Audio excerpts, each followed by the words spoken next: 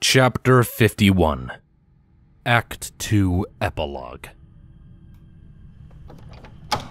The Empress walked through one of the hive's main entrances, stopping briefly to examine the guards standing there. As always, they were attentive, the hive mind making them completely loyal and the perfect beings to do her bidding. But they would be no match for the alicorns, but sending them away would ultimately be fruitless and even tip off her coming guests. Don't let anything through, the Empress commanded verbally to the guards, adding a message to the others through the hive mind. The alicorns will be coming. Trust in that. Do what you can. The guards did not respond to the Empress, but she knew that they had listened and would obey. It was what they were for, after all.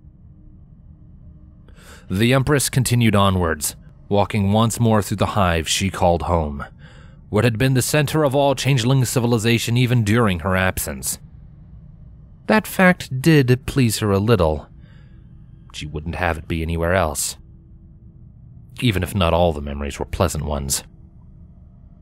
She stopped at a junction, staring down one of the hallways as she imagined the sounds of four tiny hole ridden hooves pattering down them in a hurry hooves that had dominated those halls so very long ago.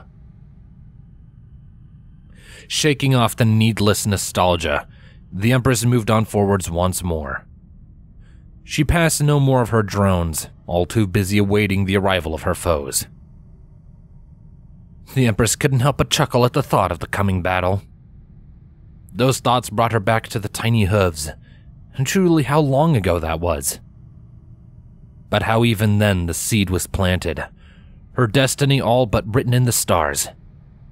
What had been done to her before she even knew the world, and what it meant even if the princesses were to fatally strike at her.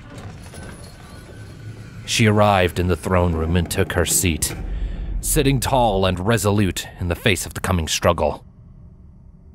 For the Alicorns knew nothing about what she truly was, and what she transcended. They could break her. But she was fully confident they could not destroy her. She was natural order incarnate, and she would survive. So let them come. Immortalis spoke out to the empty chamber, bringing a hoof up, which lightly crackled with the black and green magical energies within her blood and let them see